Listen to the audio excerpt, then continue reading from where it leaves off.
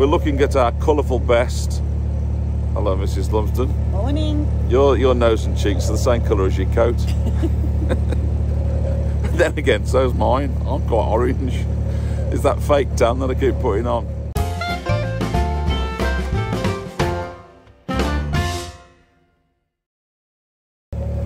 So we're off again on our travels. As you can see, the British summertime is uh, is dealing its worst hand. But we've got to crash on, got to crash on. It's all right, you liveaboards, you people who have this life of leisure where you can just say, oh, I'll sit today. We have things to do, agendas to meet, schedules to get ahead of. So I'm working tomorrow in Nantwich. So need to get closer. I've got a, a workmate going to be picking me up uh, en route. She's coming up from Gloucester. So we're heading today. We've just left Church Minshull, beautiful place, and we're heading today for Wrenbury cum Frith. So uh, it's about a seven, seven and a half hour cruise. So we've got to do that irrespective of weather. We've left it as late as we can because it was pretty crap this morning. It's now quarter to 11 and uh, the indications are it's an improving day. So let's hope that comes true. So yeah, Church Minshull was really pretty. It's very small, but the bit that we saw of it was great. Lovely pub, nice churchyard. Um, yeah, and the food, we spent too much money, so we can't keep doing that, but the food was glorious.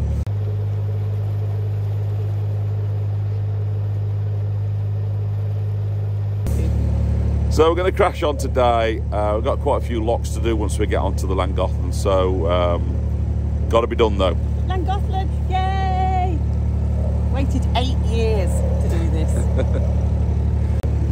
Eight years. Eight years since I got into boating. Eight years a slave. That's me.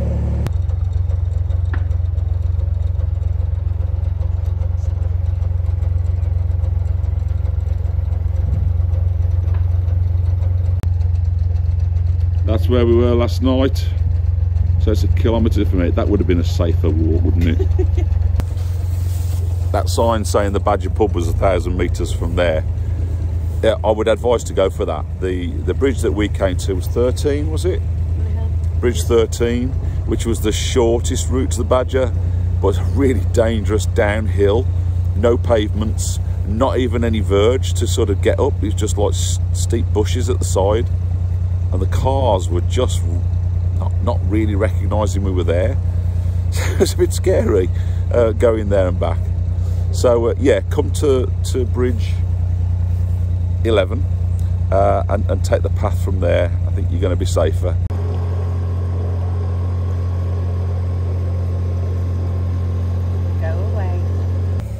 So recently, Mrs. L, as you know, has done, been doing a lot more steering, and um, she's mentioned a few times that there's a bit of an issue which seems to be coming about from steering. Let's interview Mrs. Lumsden and find out what's going on. Mrs. Lumsden, tell me all about the problem that's uh, currently affecting you. Elbow hurts. No, you don't have to overact. Oh, sorry. Tell me about it. No, just notice. I suppose it's because we've been out for two weeks solidly now that my elbow is starting to ache like it's got a bruise on it. Right. Um, and I can feel it if I've been standing here for more than an hour. Definitely, it's aching. I think the reason being is because when I'm like this, my elbow is either like that or it's down like that, but my shoulders aren't relaxed and I'm not working at a right angle. And it's because this is too high for me. If I jump like that or sit Yeah. on a box, You'll give yourself two black eyes. if I if I'm like a lot taller, Yes. if that rudder was down there, That's the tiller, darling. The rudder's in, under the water. If, look, look, I'm trying to sound really professional. I know you're doing very well. If the tiller was down here. Slightly boring, but Oh, yes. Okay. Carry on. No, no, you told me I'm boring now. I don't want to become you. Oh, whoa. That's the most you've ever said. Four years we've been doing this vlog. And it's the last thing I'm ever going to say. When she started, we couldn't stop her. But I do know of the issue. I've known of the issue for the for the four years since I've had the boat. I've always thought my tiller looks too high, or it's at a strange angle. It's it's as it's coming from the stern. It's it's rising upwards. Uh, and I look at it and compare it to other boats, and it's other boats aren't the same. So it almost, I think, needs some heat on the on the bend. The is it the swan neck? I don't know. Uh, and then just at the, the very leading edge of the tiller once pushing down to, to see whether that will take it. I think is probably the best way around that. I don't know. I welcome your comments, but it, it actually makes my shoulder and elbow ache a little bit after a while. It is too high. Um, I think I have got a possible workaround, Mrs. L, but I'm not sure whether it'll look aesthetically pleasing. But if it's temporary, just for when you, with your little legs, uh, want to do some steering, then then that that's all right, isn't it? What I suggested to Mrs. L is I get some sort of other bar that comes here that I can just Oh, look at that. look at that. Oh, fantastic. So if I can drop like a couple of scaffold clips, I mean, obviously nothing as ugly as that, but some sort of bracketry that I can just clip into place on the underside of that bar. So we get a second bar running here and maybe just bring it a couple of inches further forward. Yes. and then that's gonna that's gonna help. But i think it's gonna look unsightly. But i can do it as a temporary as a temporary thing i think. Until i can sort out the overall position of that tiller. Because it is a bit weird don't you think? Let me know. Maybe i'm just being over the top about it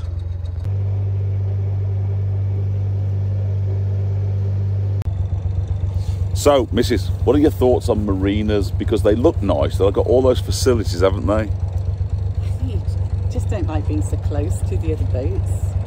No, you're going to be looking into each other's bedrooms and kitchens and living rooms and don't know. It's all right if you've got those tinted windows and stuff, but I don't know. It's also all right if you're around the outside. It's when you're on pontoons, isn't it? Mm. That's it. And also with the kind of like toilet smells.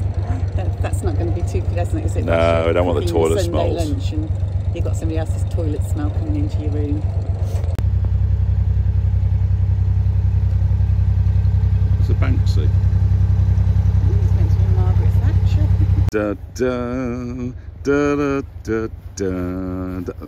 Oh. Where's your sense of humour?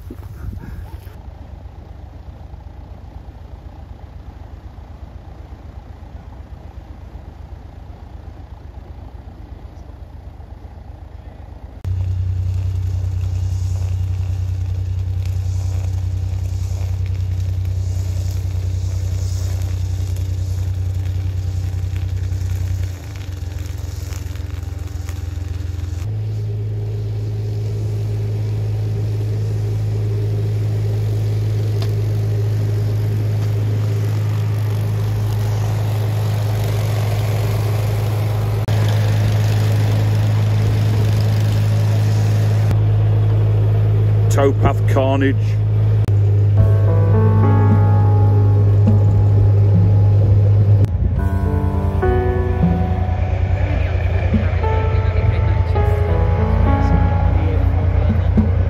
I do enjoy a cheeky little boat name, Mrs. L.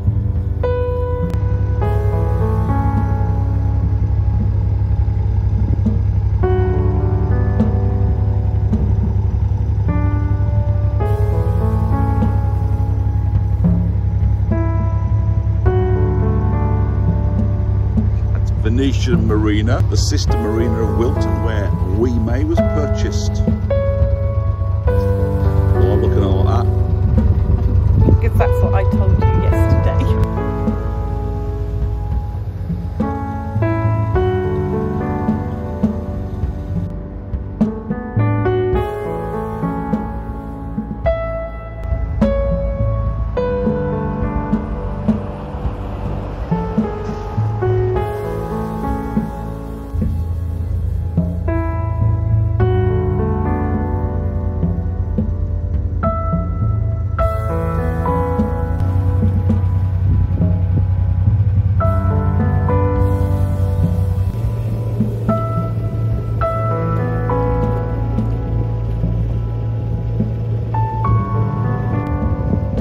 Hurleston Reservoir, and when we've got past this, we'll then turn into the Llangollen Canal, new virgin territory for us. So here we are, this is Hurleston Junction, which is the start of the Llangollen Canal.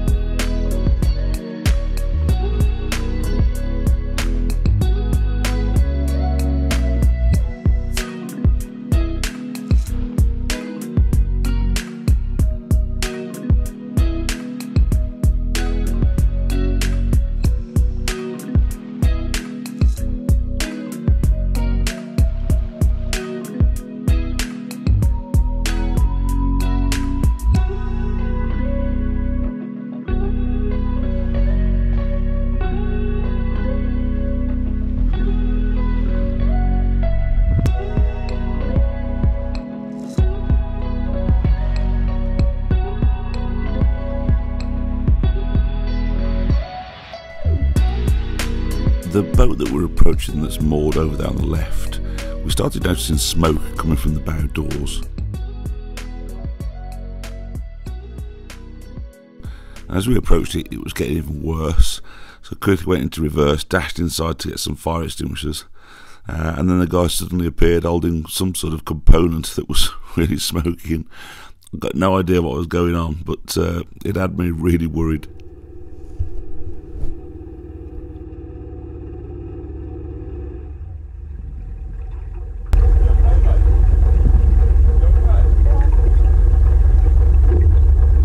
The aftermath of what we thought was going to be a massive incident. But I tell you what, just goes to show, doesn't it, how things can suddenly occur, suddenly happen. He looked quite embarrassed about the situation, so I don't know what he was doing.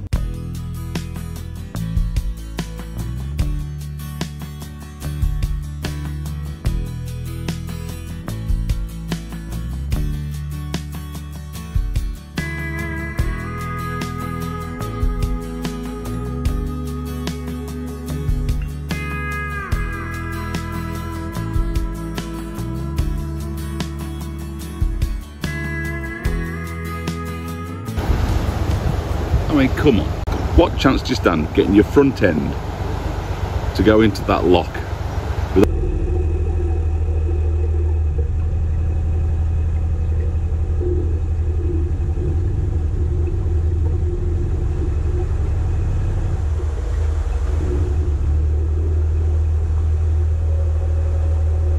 So here you can see that the bow is starting to wash to the left.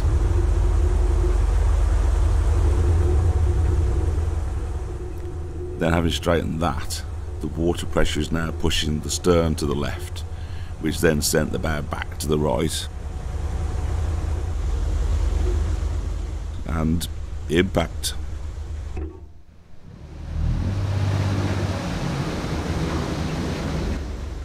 And another.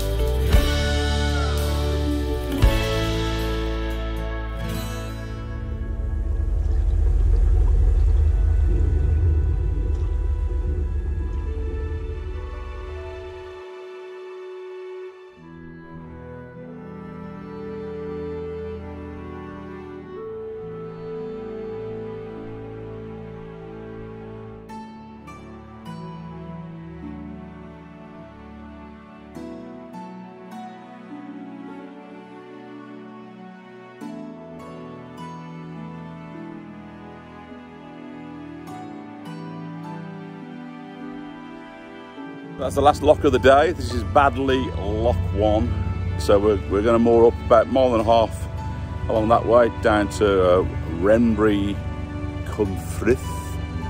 Um, we'll have a look, look around what's there. Here we are coming into Wrenbury.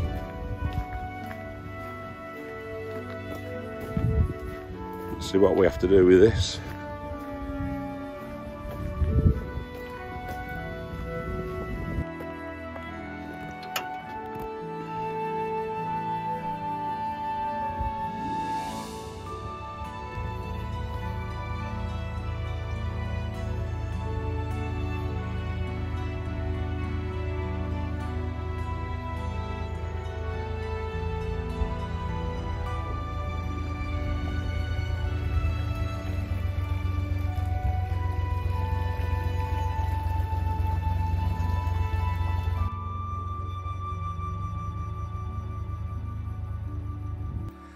As you know, boaters have a fantastic relationship with horseflies.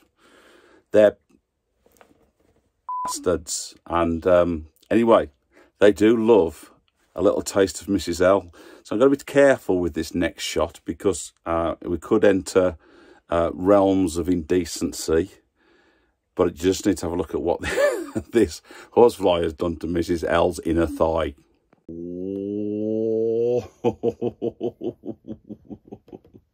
I like the look of Wrenbury so far. Very nice, very picturesque. And we found a pub. I think you like the look of the pub and in fact it's got football pub. on tomorrow. The Dusty Miller, yeah, football's on tomorrow as well. Good. Excellent. This seems to tick all of the boxes. So here we are at Dusty Miller's. Here's their menu. Mrs. Lumsden has gone for the Thai green chicken skewers. And I think I'm going to go. Oh, yeah, yeah, yeah, yeah. Ah, I'm thinking a possum could be there. No, I always have steak. Yeah. I might go Can I for. choose for you? Oh. Uh, No, I might go for chicken tikka masala. Even though, I didn't think you'd go for that. no, no, I thought you'd go for bangers and mash. no. I Why? because I had steak and ale pie last night, which is a bit like bangers and mash, isn't it? Is it? Is it Mm. really? Meat, potatoes, vegetables. That's what that was. I might go for the chicken schnitzel. Don't you dare. I Because that I'm choosing between a chicken schnitzel and the Thai green chicken skewers. And whichever you have, if I don't have that one, then I'm, it looks nicer than mine, I'm going to be a little bit miffed. miffed. your favourite word. Okay. I, I could I just go. what, no, I, no, I'm going. But I'm going with the burger. So, it's been a while since I've done joke of the day. Joke of the day. I think we only did twice, probably, on different vlogs. But anyway, so I was walking through Southampton and noticed this really nice house, beautiful house. I said to the, to my mate, "Look at that." that is a, is a fantastic house. He went, yeah, I know the guy who, li- who lives there. I said, what? How, does how does somebody lo you know own a house like that? He's, he's got a Porsche, a Maserati, a Ferrari on the drive. There's a couple of thoroughbred horses running around in the garden. Do you know what I mean? The house is just amazing. What on earth? He said, ah, well, you see, the thing is, he works for Cunard. I said, yeah, well, I work for Cunard as well, but I don't have any of that. So drinking in here now. I do love an old photo. It's pretty, isn't it, Mrs. L? This will be the old mill stream, this. So, Dusty Millers, you definitely seem to have come up with business. Are you happy with your Thai green skewers, Mrs. Yes. L? Wowzers. And my Wowzers. burger looks divine. Excited. Church of the Day. Don't shush me, Mrs. L.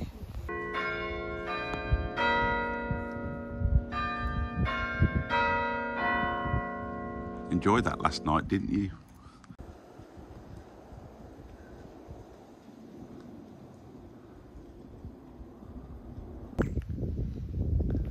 It's often, you know, you look at the life that they had, this guy, Frank James. He died aged 10 months. And also William Henry, he died at 17 years old. And then Peter died three months.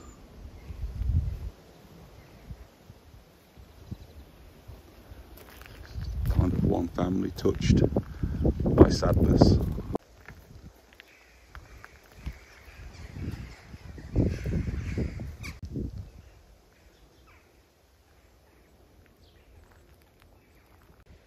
you very much, W.G.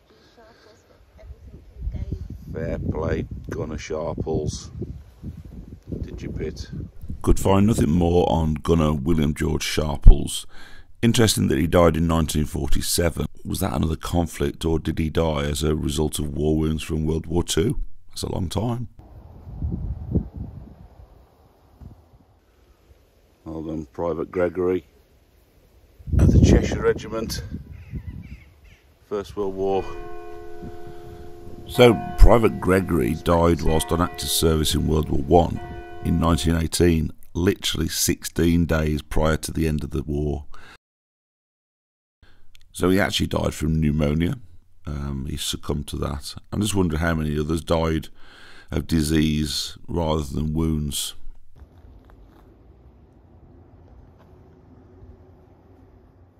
So I found a really nice written piece on Frederick Ely Um, he was a Spitfire pilot.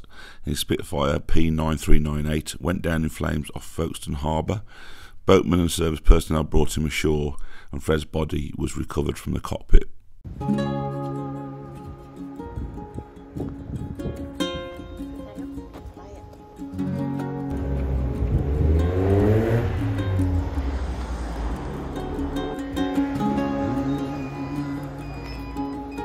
Get your wine. Oh, that'll do.